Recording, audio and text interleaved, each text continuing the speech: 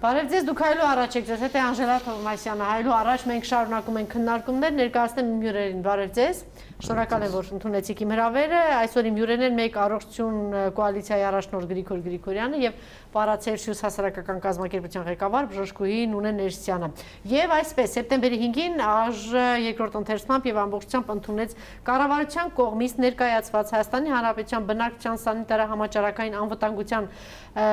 ապահովման մասին եւ արտակարգ իրավիճակների բնակչության պաշտպանության մասին օրենքում եւ հարակից օրենքներին փոփոխություն եւ լրացում կատարելու մասին նախագիծը, որը իր մեջ ներառում էր մի շարք կետեր։ Հիմա դուք դրա մասին խոսեք, ես էլ մեջբերման կարգով կանդրադառնամ։ Այսինքն մենք անցնում ենք արտակարգ իրավիճակից, անցնում ենք կարանտինային ռեժիմի, ինչու գնաց իշխանությունը այս փոփոխությունների, ինչ փոփոխություններ կան եւ ինչ նպատակի հետապնդում։ Խնդրեմ։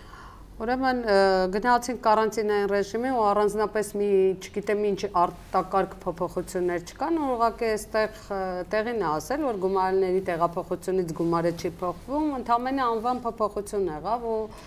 ճիշտ հակառակը ավելի խստացված ռեժիմ է կապված եւ դիմակների կրելու հետ, ինչ որ այդ դատական կարգով տուգանքներ, չգիտեմ, ընդཐུպ միջև ձերբակալում, նման բաներ, ախտահանիչ նյութերի վերաբերյալ, մարդկանց մեքենաներով տեղաշարժվելու վերաբերյալ, այսինքն ըստ էության ինքը որ փոխվեց կարանտինի, այստեղ մենք ազգի մեջ փոփոխություն ազգի բեռը չթեթևացավ կապված կորոնավիրուսի վարակի հետ, ինչը որ բեռը որ վաղուց ի վեր պետքա տանեին մեր իշխանությունները, նորից բեռը թողեցին մեր մարդկանց վրա, մեր ժողովրդի վրա թեթևացում չեղավ, հակառակը եղել են ավելի խստացումներ, դա մեկը, երկրորդը Կարանտին ասած բառը պետքա ի սկզբանե որոշեիր առողջապահության նախարարը, որը այս վիճակում, իբրև թե պատերազմական վիճակում, ոնց որ իրանք են հայտարարում կորոնավիրուսային պատերազմ, այո, որպես կորոնավիրուսային կորոնավիրուսային պատերազմ գլխավոր հրամանատարը Արսեն Թորոսյանը գնացել է հանգստանալու։ Դե իհարկե 1100 մահից ավել մարդը 1100 մարդուց ավել մահա տվել, գեր հոգնած է մարդը պիտի հանգստանա։ Դա էլ եմ հասկանում բայց գիտեք այդ խստացումները, այդ ամեն ինչը պետքա ոչ թե որոշեր կառավարությունը կամ բարետը, որոնք չունեին բժշկական կրթություն, որտեղ չկա բժիշկների հանրային լսում, համաճարակաբանների որևէ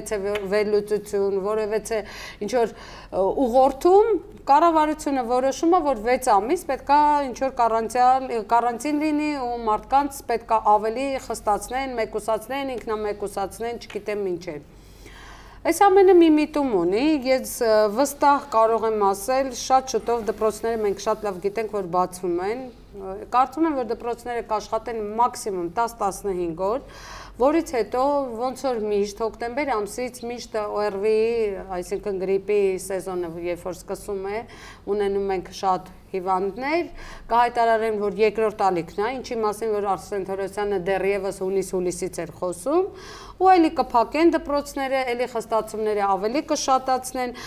ու ժամանակ էր պետք շահել, որպեսզի կարողանան պատվաստանյութեր բերեն, որովհետև դեռ պատվաստանյութերը չկա, բայց չգիտեմ ինչի Արսեն Թորոսյանը ինքը հայտարարեց, որ մենք արդեն գնել ենք պատվաստանյութը։ Որտեղից է գնել, այդ գումարը ուր է գնացել, արդյոք վճարելա, չի վճարել, որ որ երկրից ենք մենք այդ պատվաստանյութերը գնել, դրանք դրանց մասին ոչ մեկ չի խոսում։ Բայց դե շատ լավ հասկանում ենք, որ մոտավորապես արդեն 6 ամսվա ընթացքում պետք է ամբողջ աշխարհում այդ պատվաստանյութերը սկսեն գործածել։ Մարդկանց պետք է ժամանակ շահել, որպեսզի կարողանան հետո այդ պատվաստանյութը կարողանան օգտագործել մեր վրա, մեր ազգաբնակչության վրա։ Բայց իրանք չեն հասկանում մի բան, որ իմ նման բժիշկները, իմ գործընկերները եւ նաեւ մարդիկ արդեն շատ լավ հասկանում են, որ երբ որ բաց տարածքում դիմակով արդեն մարդիկ ավելի քիչ են շրջում, ավելի քիչ են դիմակները օգտագործում։ Ես դες վստահ կարող եմ ասել, որ այն 100%-ով դիմակ էր օգտագործում, արդեն 100-ը իջել է մոտավորապես 40-50%-ի ու վարակման շղթան ավելի է փոքրացել, որովհետև նախ առաջինը մենք ձեռք ենք բերել կոլեկտիվ իմունիտետ, դա շատ կարևոր հանգամանք է, ինչի մասին որ Արսեն Թորոսյանը երբեք չխոսեց ու չի էլ ուզում խոսի ու նաև կարծում եմ որ ինքը մեր իշխանությանը իրենք շահագրգռված են թվերը ուրճացնել թե հակառակը դե իհարկե թվերը ինչքան 6 ամիս հետևում ենք ի՞նչ տպավորություն ունենք նայեք ուրճացում է թե չէ որովհետև կասկածները շարունակում են մնալ վերահերձումներ չեղան եւ այդպես էլ հայտնի չի այդ մահերը իրականում կորոնավիրուսից եղան, այլ հիվանդություններից եղան, այդպես էլ անհայտ մնաց այդ ամեն ինչը։ Նայեք, այդ մասին շատ ենք խոսել, չեմ ուզում կրկնվեմ այդ դիահերձումների վերաբերյալ, իհարկե, եթե չկա դիահերձում, ոչ ոք չի կարող ասել մահի ինչից է, օրինակ կա Սարգսյան Գոհար, որի մայրը կորոնավիրուսից մահացել է, այս վերջերս TV5-ով էլ այդ կինը ելույթ ունեցավ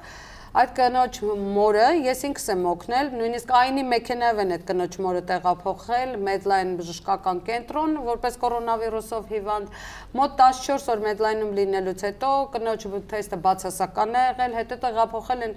Սուրբ Աստվածամայր բժշկական կենտրոնը կորոնավիրուսը վարակված չէր։ Չէ, սկզբում վարակված էր։ հա։ Հետո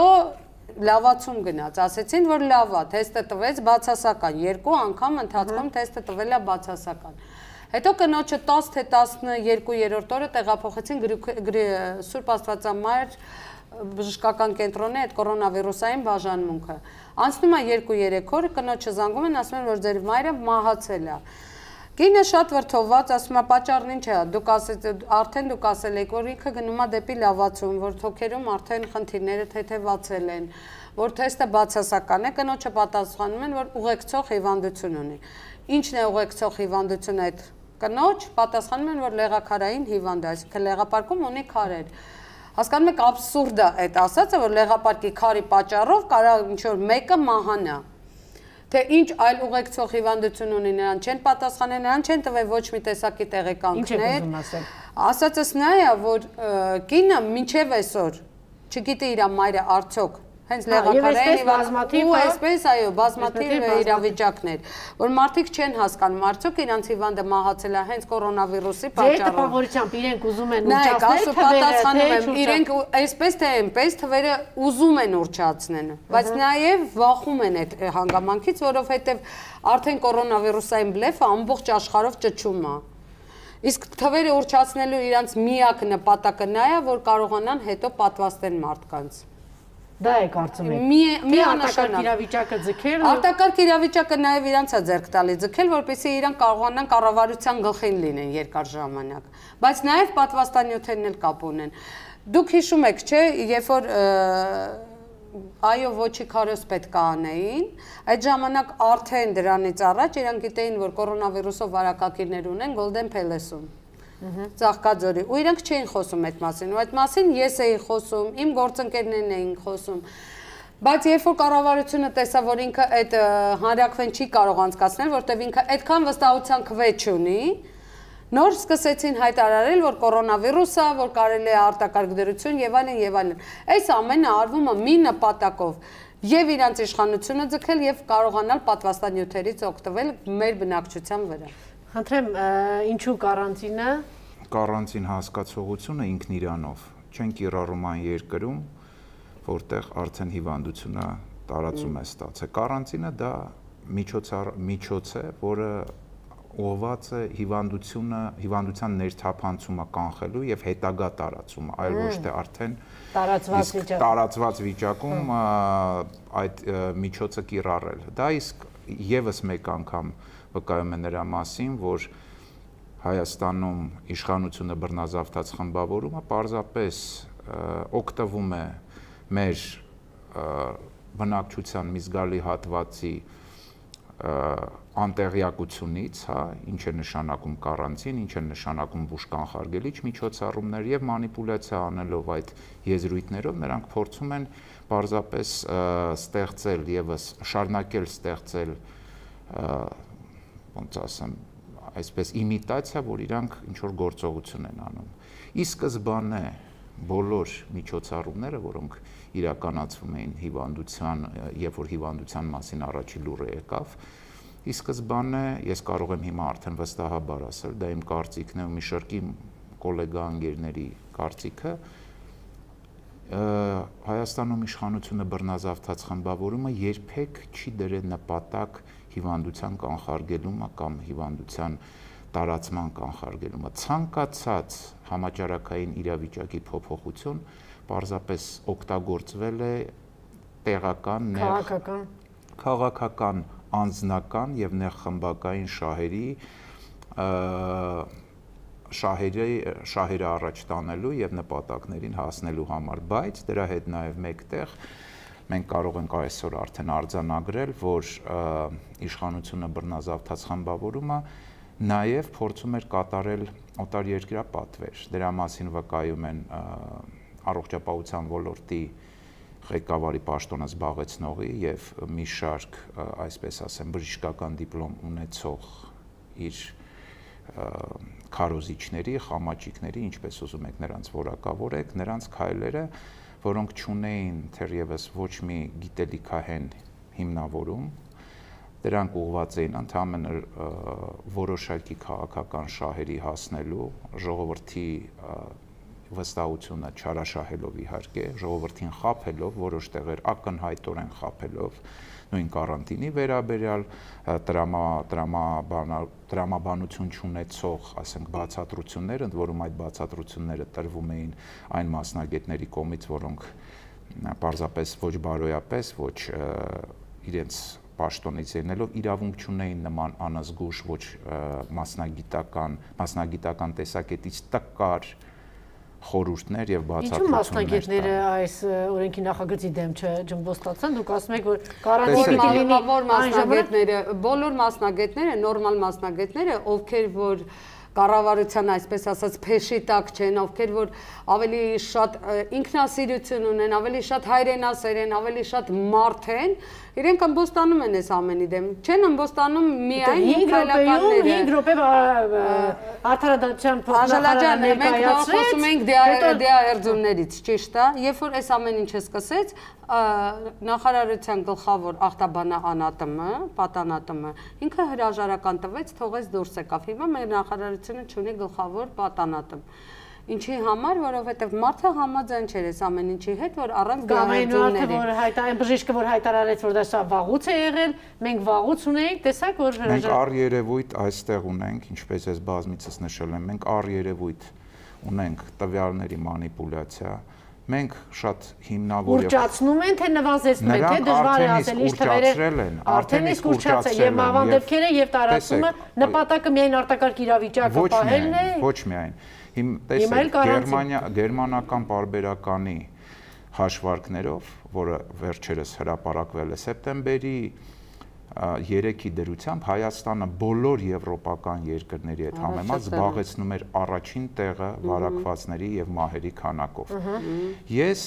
հակված չեմ կարծել, որ այդ բոլոր մահերը եւ հիվանդատությունը տեղի է ունեցել նոր կորոնավիրուսային վարակի պատճառով այն այն պարզ հիմնավորման, որ դիահերձում չի եղել դիահերձման բացակայության պայմաններում ոչ մի մասնագետ իրեն թույլ չի տա պնդել որ այս մահը կամ այս հիվանդությունը պայմանավորված է կորոնավիրուսով դրա հետ մեկտեղ մենք ունենք առ երևույթ արդեն իսկ པարզ է որ եւ եղել են դրա մասին բազմաթիվ հրապարակումներ որ Հայաստանում կիրառվում են դեղեր դեղամիջոցներ որոնք գրանցված չեն կատարվում է կլինիկական փորձարկումներ մարդկանց վրա եւ դրա վառ ես նաեւ կասկածներ ունեմ որ մեր տարեցներին որոնց ուղեկցում են հիվանդանոց եւ դե ֆակտո մեկուսացնում են Բայց հասկանում եք իշտագնապ մարդը իրական ես ավարտեմ հա սա սա շատ կարեւոր է մեր տարեցներին երբ որ նրանք մեկուսացնում են եւ բարեկամները, ընկերները ոչ մի կապ չեն կարողանում հաստատել, խնդրում են, որ տեսնեն, հասկանան ինչ է կատարվում, նրանց թույլ չեն տալի, բայց արդեն մենք ունենք ահազանգեր, արդեն դուրս է գալի այն ինչ կատարվել է։ Մեկ տարեց կնոջ մոտ, ինչպես իմ գործընկերը նշեց, կապտուկ մեկ տարեց կնոջ մոտ կապտուկներ երեսի վրա եւ սկոչով աչքերը փակած, այդ բուժարումը մահացել է։ Երկրորդը այ այսօր արդեն հրաապարակումներ եղան, ատամներն են ջարդած եղել։ Այսինքն մենք չենք բացառում, որ նաև կարող է մեր հիվանդների վրա, մեր տարեցների վրա նրանք բռնություն են կիրառում։ Կարող է, ես չեմ կարող դա բացառել։ Ինչ է նշանա, ինչ է ասել, թե ատամները կոտրված։ Այդ ինչ են արել, որ ատամները կոտրված են։ Հասկանում եք, այստեղ այնքան մութ կետեր կան, այնքան ու ես հավատացած եմ, որ երբ որ այս խմբավորման մոտալուտ իշխանությունից հեռացումից հետո շատ բաներ են բացվելու։ Բացվելու են հանցանքներ, դա իմ խորը համոզմունքն է, ոչ միայն կոնկրետ անձերի կամ մեր բնակչության հատվածների նկատմամբ, այլ նաև բացվել են այն հանցագործությունները, որոնք միջազգային պրակտիկայում ընդունված է որակավորել որպես հանցագործություն մարդկության դեմ։ Նայեք, գործընկերս ասում է կլինիկական փորձարկումներ, այո, ես համաձայն եմ։ Խոսքը հենց օրինակ ասենք պլակվինիլի մասին է, որի ինստրուկցիա հայերեն ոնց ենք ասում, որի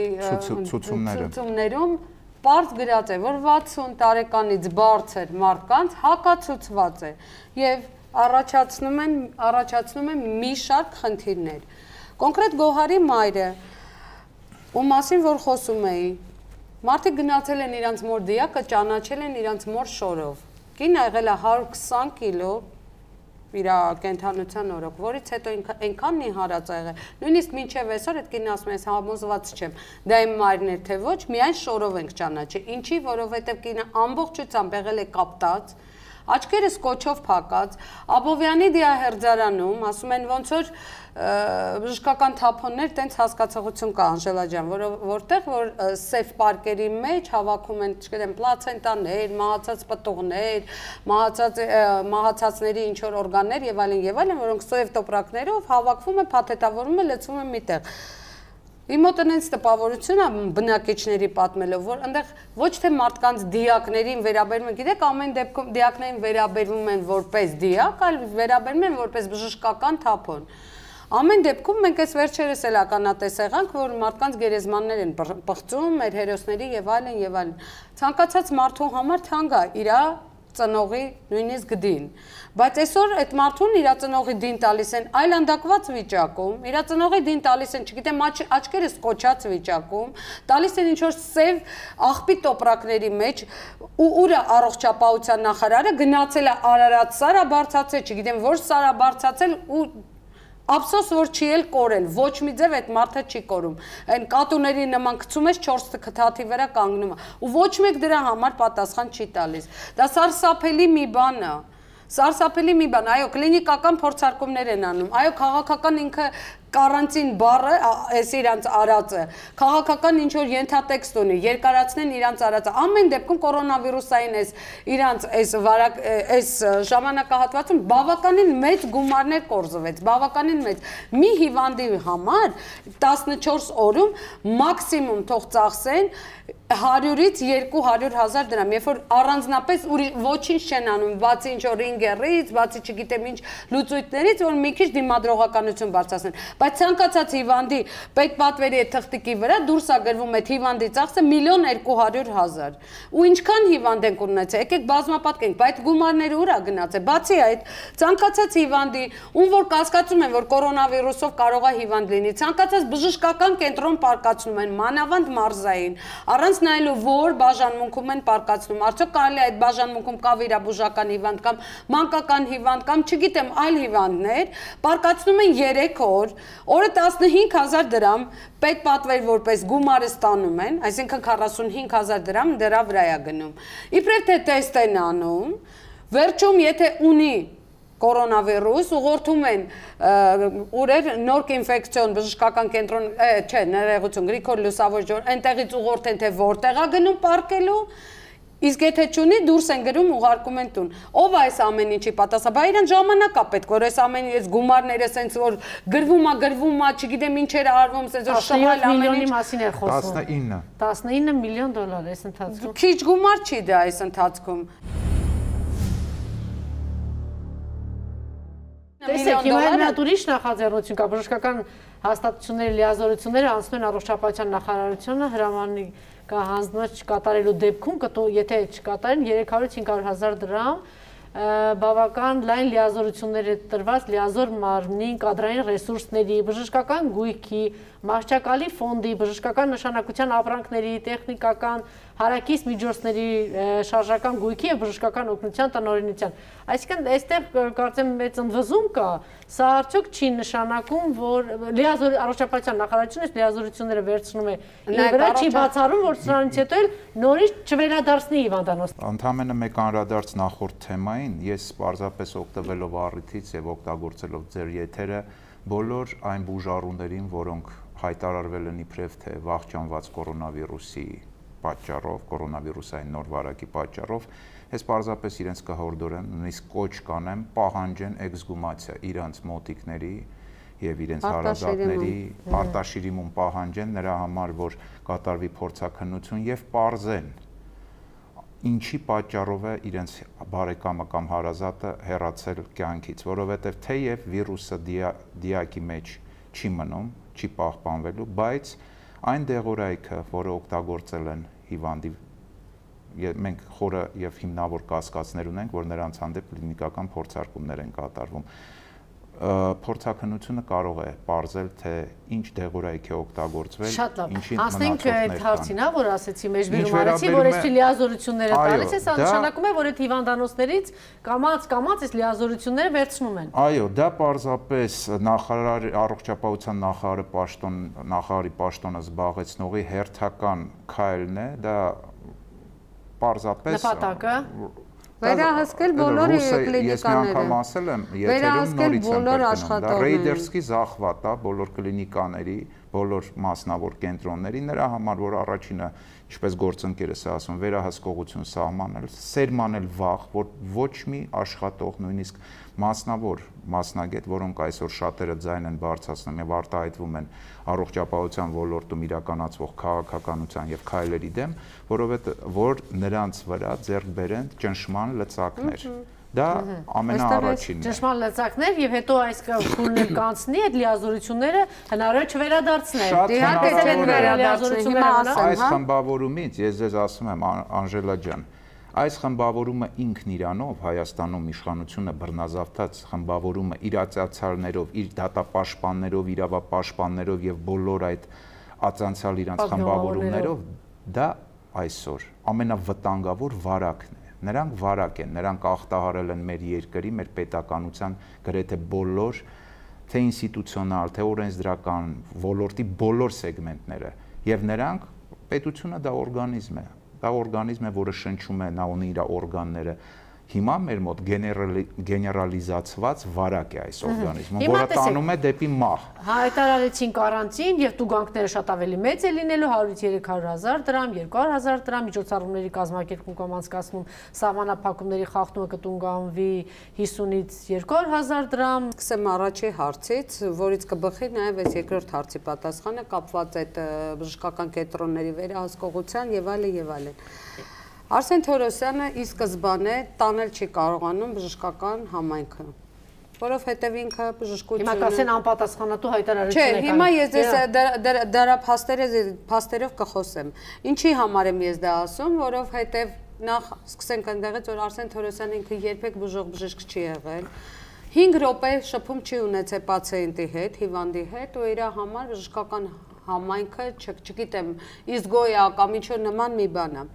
Սկսենք այնտեղից, որ Արսեն Թորոսյանը որոշել էր ու բավականին մեծ գումարներ ծախսեց օտար երկրներից, ինչ որ մասնագետներ բերեց, հիշում եք, չէ, Ֆրանսիայից ինչ որ 5-6 մասնագետ բերեց, որոնք կորոնավիրուսով երբեք չէին զբաղվել, բայց նույն հաջողությամբ Հայաստանի Հանրապետությունում կային շատ լավ մասնագետներ, օրինակ ձեհ կենտրոնի տղաները,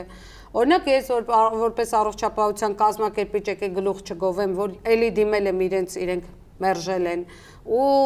հակատուբերկուլոզային դիսպանսերի շատ մասնագետներ, որոնց աշխատանքից ազատել էր Արսեն Թորոսյանը, ոչ մեկի օգնություն ինքը չընդունեց, ինքը բերեց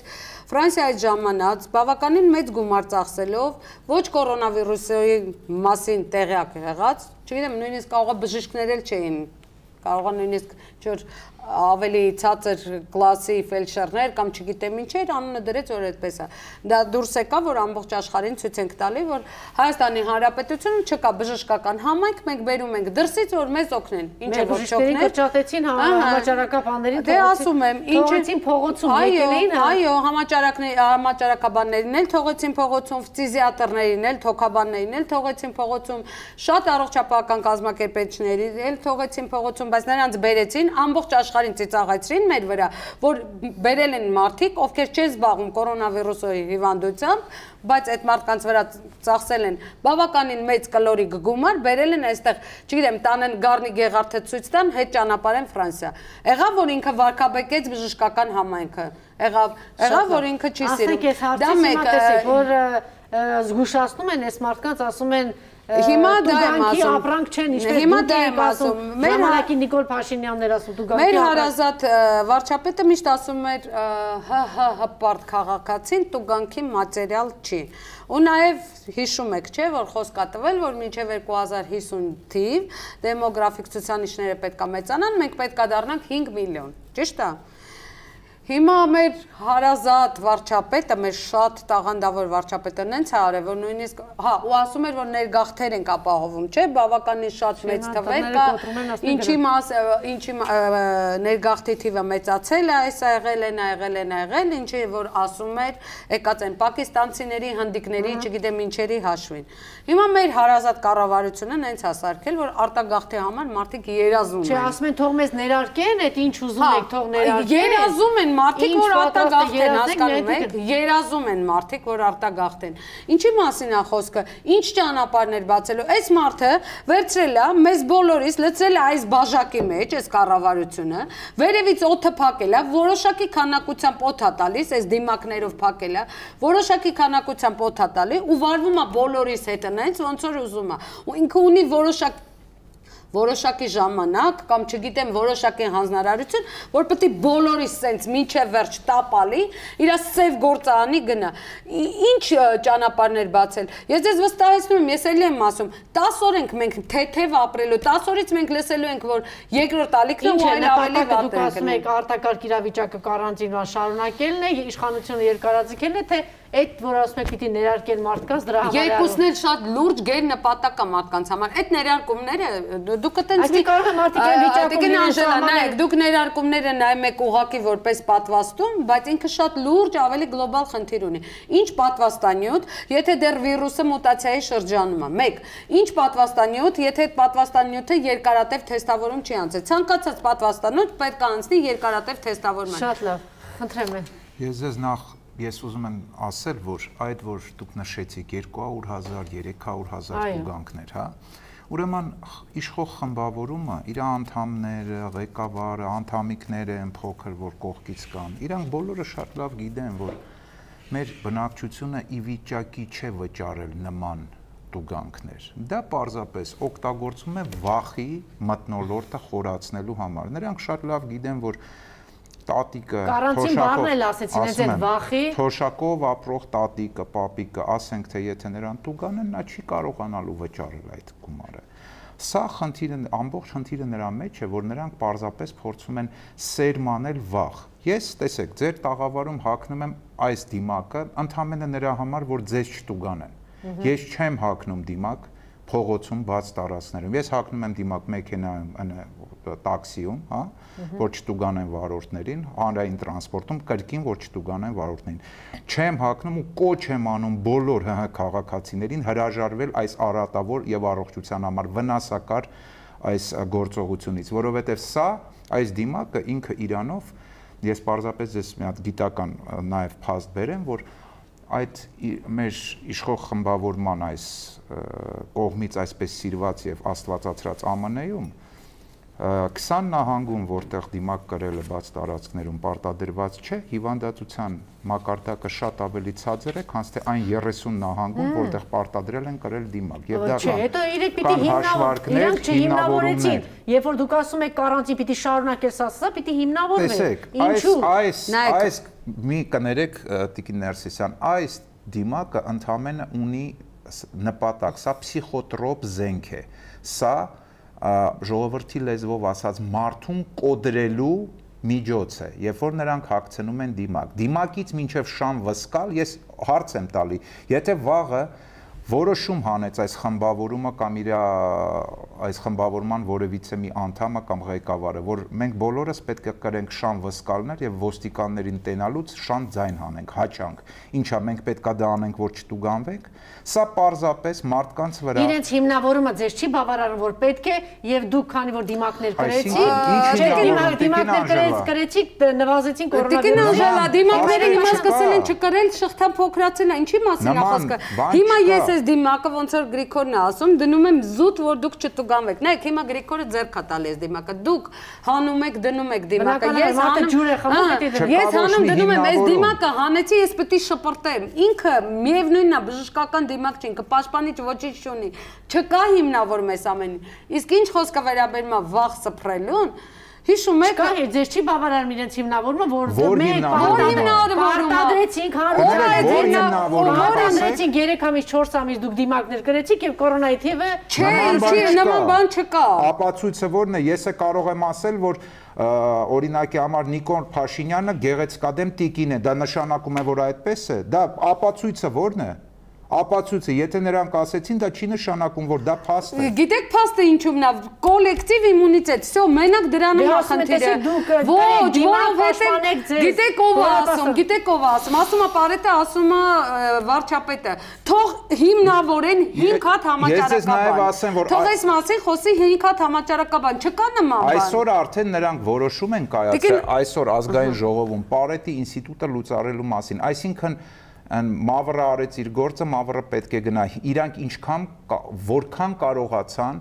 օգուտով իրենց համար, իրենց քաղաքական շահի համար օգտագործեցին Պարետի ինստիտուտը Դե երկարացնելու արտակարգ դրությունը, քանի որ օրենսդրորեն նրանք այլևս չեն կարող դա երկարացնել, նրանք պարզապես անունը փոխեցին, պահպանելով բոլոր սահմանափակումները, լուծարում են հիմա Պարետի ինստիտուտը, նրա համար որ արդեն իրենց թվում է, որ նրանք այնքան են ամրապնդի իրենց իշխանությունը, որ արդեն իսկ կարող են առանց Պարետ նոմինալ այդ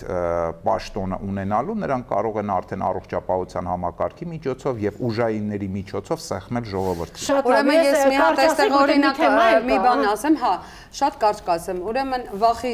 մտնոլորտը սփռելու մասին հիշեցնեմ ձեզ մի բան, հիշում եք համալիրի մահճակալները, Photoshop-ը, այդ վախի մտնոլորտը, որ մի շաբաթ մարդիկ սարսափած էին, մի շաբաթ քննարկում էին, թե որտեղ են իրանք համալիրում կպարկեն, կմրսեն, չգիտեմ, այս ինչ բան է, հիմա բոլորս կհիվանդանանք, ինչ եղան այդ մահճակալները։ Ինչ եղավ այդ համալիրի կազմակերպված երևույթները։ Ինչ եղան ը, շտապօգնության մեքենաների ազդանշանների աղմուկները, որ շտապօգնության մեքենաները քաղաքի այս ծայրից այն ծայրը ազդանշանները միացած արագ-արագ քշում էին, գնում էին, գալիս էին, բայց երբ զանգում էին շտապօգնության մեքենան չէր կարող գնալ հիվանդին տեղափոխել։ Վախը ի սկզբանե իրանք այս ամեն ինչ անում են վախի համար, որ մարդկանց մոտ վախի մտնոլորտ սփռվի ու մարդիկ հասկանան ու նաև Գիտեք, մեր ազգը նաև այն ազգն է, որ երբ որ գրպանին ես կպնում, իր վախը ավելի է շատանում։ Թվերը մեծացրեցին տուգանքների, չգիտեմ ինչերը, ինչերը, որ վախենան իրանց գրպանին կպնելուց ու կրեն այս դիմակները։ Երկու օր առաջ մի օրինակ ասեմ ու վերջ։ Երկու օր առաջ ինձ ոստիկաններից մեկը կանգնացրել է դիմակ չկրելու համար։ Դուք գիտեք, որ ես ի սկզբանե դիմակ չեմ կրում, զուտ այստեղ կրում եմ միայն ձեր չտուկանվելու համար, ծելեի չտուկանվելու։ Ոստիկանը ինձ հարց է տալի, ասում է ինչի չեք կրում, ասում եմ, գիտեք, որպես բժիշկ բացատրում եմ, որ չի կարելի այսպես, այսպես, այսպես, այսպես, գիտեք ինձ ինչ ասում։ Բժշկուհի ջան, համարյա մեծամասնությունը չեն կրում։ Ուղղակի որ ոստիկան եք տեսնում, բոլորին էլ ասում եք, մեր մոտ դրեք, անցեք մի մետր ենքում ձևական հանեք, շատ լավ։ հասկանում Ես ուզում եմ հաջորդ թեմայի մասին չնայած շատ ժամանակ չունենք, օգոստոսի 31-ից սեպտեմբերի 5-ը Հայաստանի Հանրապետությունում արձանագրվել է ալկոհոլային թունավորման 46 դեպք, 17 մահ։ Մի տեսակ ինչ որ անտարբեր ու բան անցանք հա այս թեմայի հետ կապված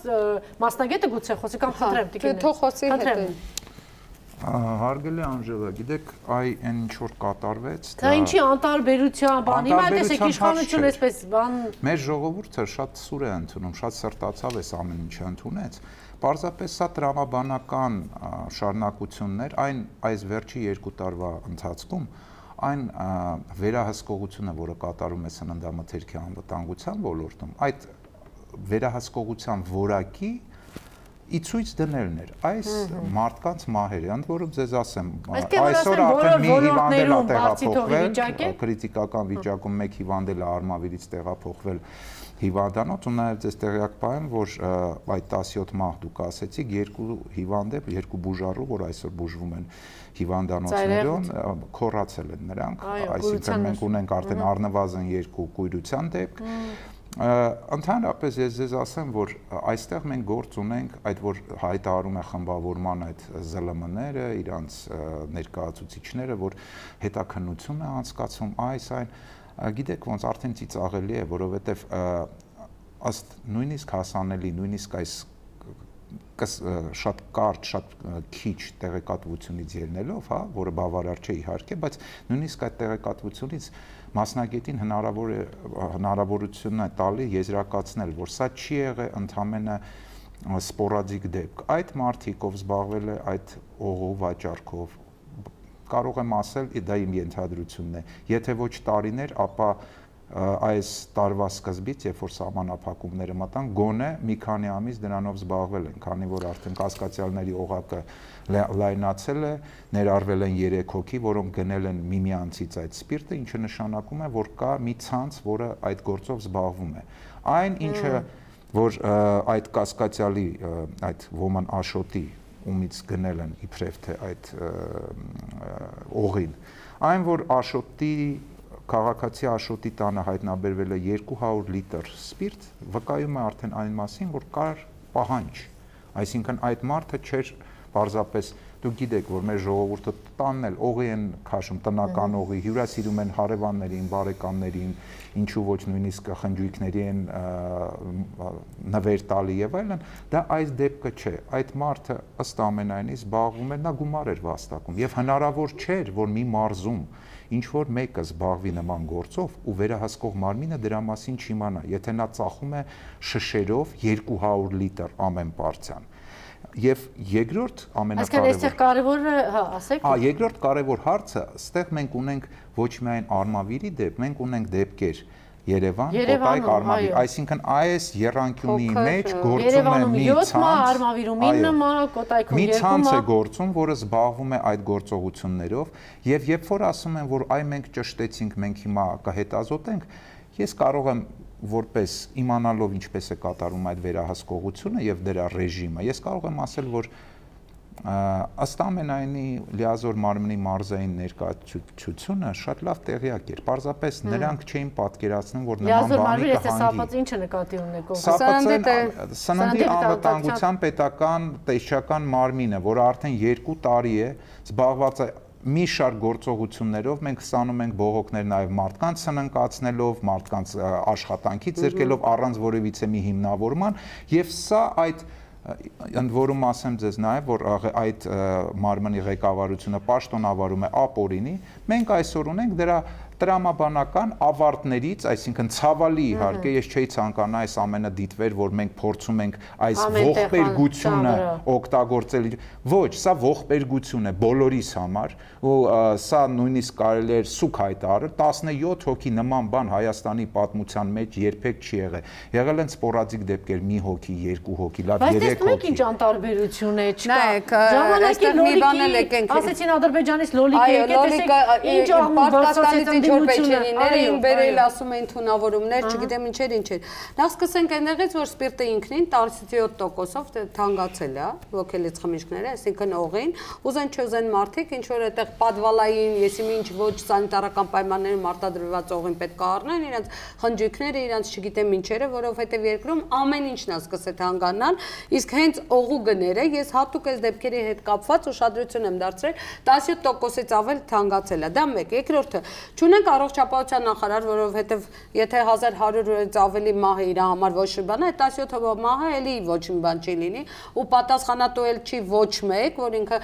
նույնիսկ մի հատ ցավակցի կամ վարչապետը ցավակցի այդ ընտանիքի անդամներին կամ մի բան։ Եկեք դա դնենք մի կողմ, հա։ Եթե 1100 մարդու մահ, որոնց որ հայտնաբերված չի, ինչից են այդ մարդիկ մահացել, տանջանքներով, կտանքներով այդ մարդիկ մահացել են ու ոչ մեկ ոչ մի անգամ չխոսեց, 17 մայի մասին նրանք չէին է խոսելու։ Դա դնենք մի կողմ։ Այստեղ դիտարկենք նաև այն հանգամանքը, որ Հայաստանի Հանրապետությունում բոլոր ինստիտուտները տապալված են ոնց որ առողջապահությունը այնպես է սննդի անվտանգության տեսչությունը, այնպես է, չգիտեմ, բանկային համակարգը, այն մյուսը, այն մյուսը, այն մյուսը։ Ու այս հայազգը չի ապրելու այնքան, քանի դեռ կառավարումը Նիկոլ Փաշինյանը իր ավազակա խմբով, այսպես ասենք, հա, ու գիտեք, ես երբեք չեմ սիրել որևէցե մեկին որևէցե վատ բան ցանկանալ, բայց շատ կուզենամ, որ երբ որ այս կառավարության ավարտը գա, իրանք ցմա դատվեն ու այդ ցմա դատվելու ընթացքում լինեն ցմահ կարանտինի մեջ, ունենան երկաթից դիմակներ։ Դաժան ստացվեց։ Շնորհակալություն։ Այսօր իմ հյուրերն էին մեկ առողջություն կոալիցիայի առաջնորդ Գրիգոր Գրիգորյանը եւ Պարացելսիուս հասարակական կազմակերպության ղեկավար բժշկուհի Նունե Ներսյանը։ Շնորհակալություն։ Շնորհակալություն։